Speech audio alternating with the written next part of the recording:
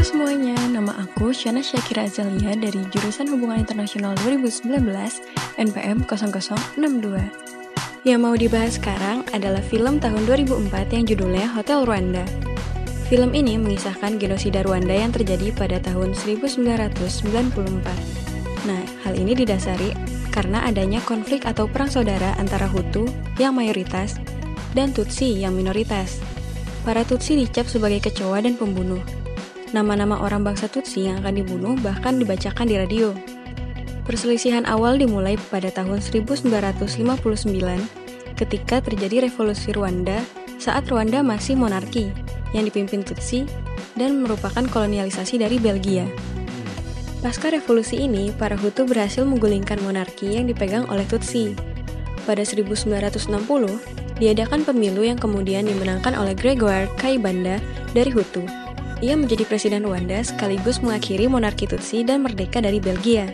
Pada tahun 1987, dibentuk Front Patriotic Rwanda atau biasa dikenal sebagai FPR, yang merupakan kelompok pemberontak. Dengan adanya kelompok pemberontak ini, perselisihan yang ada pun terus terjadi tanpa henti. Bantuan dari PBB datang, tapi tidak dapat berbuat banyak.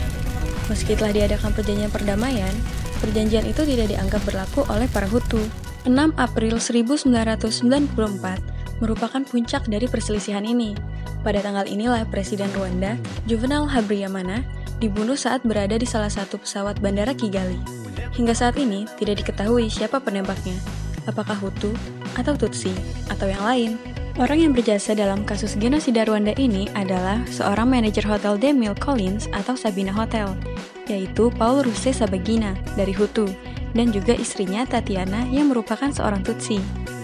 Bertolak belakang dengan Paul meski sama-sama bangsa Hutu, George Rutaganda merupakan seorang pemasok barang ke hotel, tapi ia juga merupakan pemimpin lokal Interahamwe yang merupakan milisi anti-Tutsi yang sangat brutal. Paul yang awalnya berniat mengungsikan keluarganya saja di hotel, berujung banyak tetangga yang turut mengungsi juga. Paul menyuap jenderal angkatan darat dengan alkohol dan sejumlah uang. Namun, itu saja tidak cukup. Mereka tetap membunuh para Tutsi. Dari hari ke hari, semakin banyak jumlah pengungsi Tutsi di hotel itu. Uang mulai habis, persediaan makanan mulai menipis, dan berbagai krisis lainnya. Hotel ini menampung 1.268 pengungsi Rwanda sebelum akhirnya berhasil dipindahkan pada Juli 1994. Konvoi PBB berhasil mengangkut semua pengungsi keluar dari hotel, melewati banyak milisi, dan pengungsi untuk sampai di tempat yang aman di belakang garis Tutsi. Pasukan penjaga perdamaian PBB yang dipimpin oleh Kolonel Oliver hanya dapat membantu jalannya evakuasi karena terdapat protokol dan aturan yang harus ditaati berdasarkan hukum internasional yang berlaku. Mereka dilarang untuk ikut campur dalam konflik ini. Tidak boleh pula menggunakan senjata dalam perlawanan. Belgia dan sebagian besar pasukan penjaga perdamaian PBB mundur setelah terdapat 10 tentara Belgia yang terbunuh. Genosida Rwanda sangatlah kejam, tidak memandang gender, umur, dan lain sebagainya. Ratusan ribu wanita Tutsi dijadikan budak seks, dan sekitar satu juta Tutsi meninggal akibat genosida oleh Hutu dalam kurun waktu tiga bulan saja, atau sekitar 100 hari. Dan masyarakat internasional tidak bisa membantu banyak. Nah, segini dulu ya bahasan genosida Rwanda. Jangan lupa nonton Hotel Rwanda karena selain entertaining, nambah wawasan juga.